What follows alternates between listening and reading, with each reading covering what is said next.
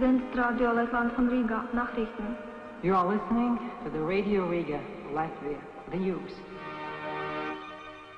Pie Rīgas robežas uz Plaskavas šosejas kustībai trauc.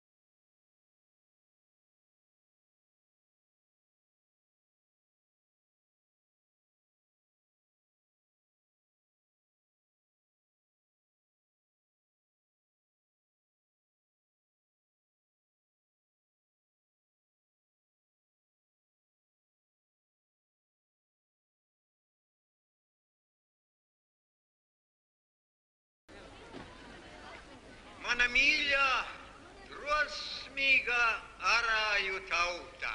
Drosmīgā, sīkstā, izturīgā. Ja tu tāda nebūtu,